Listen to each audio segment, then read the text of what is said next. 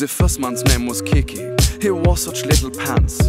His brother was the champion, but Kiki loved to dance.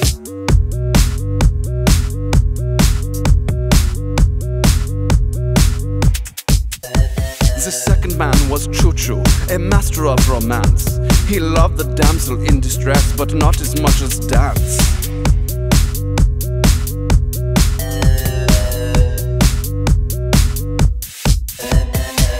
One day it happened. They went off to the world.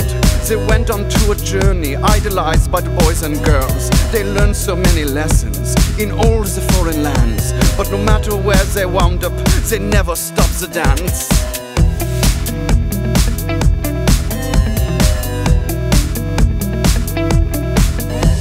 One day inside the station, in Amsterdam perchance, the men were dancing side by side by the man with the crooked glance. They turned to face each other.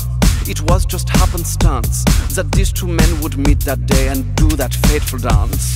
Wow, you can really dance. Wow, you can really dance. He went, he went. They said we've both been dancing all this time. What a coincidence!